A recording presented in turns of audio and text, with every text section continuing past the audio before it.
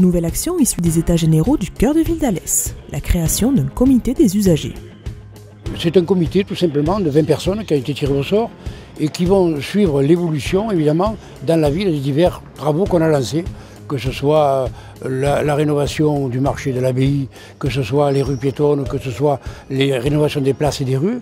Ils sont là pour participer dans ces groupes de travail et nous ramener, et nous ramener évidemment leur avis, leur idée. C'est monsieur et madame tout le monde, d'ailleurs d'Alès et d'ailleurs, ce sont aussi, ce sont surtout des usagers euh, du cœur de ville, hein, puisque l'essentiel de la démarche, c'est de redynamiser le cœur de ville et d'avoir effectivement, nous, les remontées de ce qui se passe à l'intérieur euh, du cœur de ville suite aux travaux qu'on va réaliser et aux engagements, les 38 engagements que j'ai pris devant la population alésienne. 20 volontaires tirés au sort donc, parmi les 87 qui avaient postulé.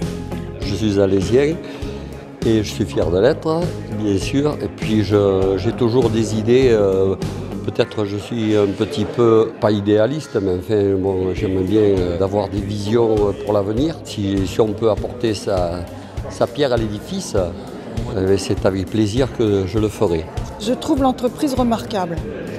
Euh, je pense qu'effectivement beaucoup de villes voient mourir leur cœur, ou en tout cas battre beaucoup plus lentement, et que l'entreprise de la mairie d'Alès a été faite avec beaucoup, de, beaucoup d'énergie et surtout beaucoup de volonté de donner suite et de concrétiser les propositions.